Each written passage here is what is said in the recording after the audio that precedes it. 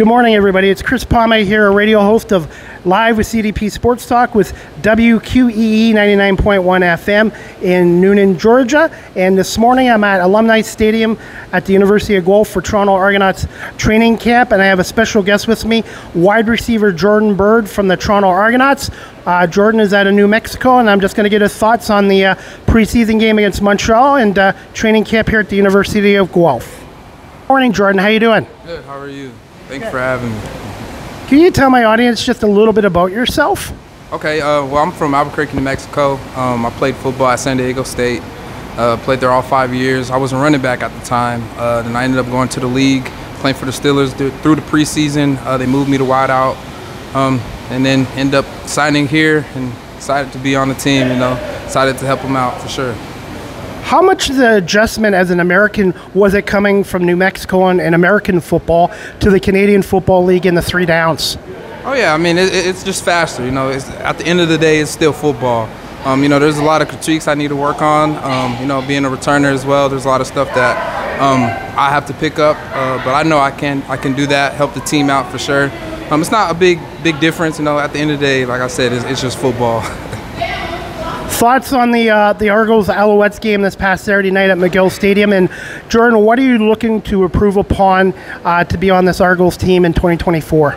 Oh yeah, you know, being a returner, you know, that's one thing that um, I bring to the team is you know being a good returner, and one thing I need to fix. Um, you know, there's a lot of things out there that are different than American football than it is here. So there's a lot of things that um, you know I can fix myself in practice. Uh, you know, talk to the coaches, watching film and stuff like that um, you know, just having having fun at the end of the day too. Football is football, and I'm excited to, to play it again.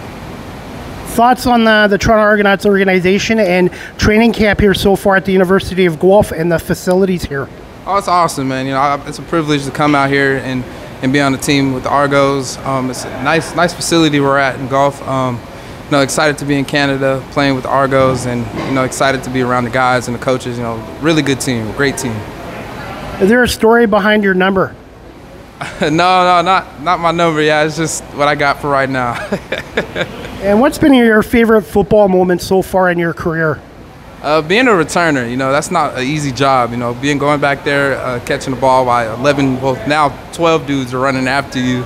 Um, you know, just showing that you got talent out there. You know, the team trusts you with the ball in your hands, and that's one thing I love is just being back there, catching punts, and trying to return them every time.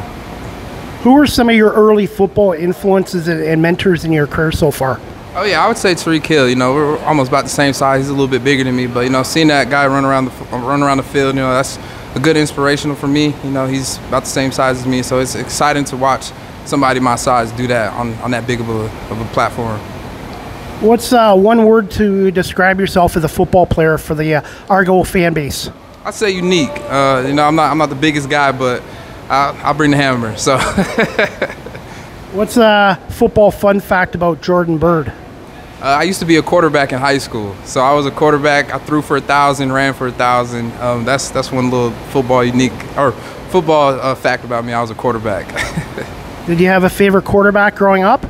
Uh, Cam Newton. Cam Newton was my favorite quarterback, even though he was you know six five, but he was he was a great quarterback. He was awesome we're at now, if there was a quarterback out there, is there anybody that's similar to Cam Newton? Uh, right now?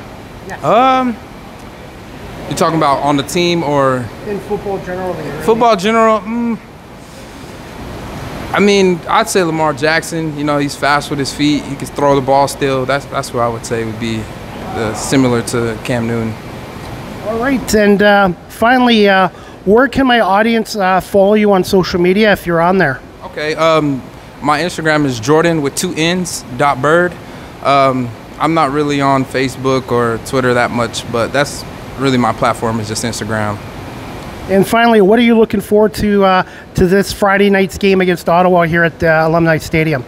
Uh, just learning from that last week. You know, doing better, improving on on um, offense and on punt return, kick return. Um, just improving. You know, getting in the film, working on a lot of things that I that I missed in the last game uh, just improving, helping the team out for sure. All right, Jordan, I want to say thank you so much for doing this and uh, continued success with uh, the Toronto Argonauts. And we'll see you Friday night here at Alumni Stadium. Yes, sir. Thank you. I appreciate it. Thank you.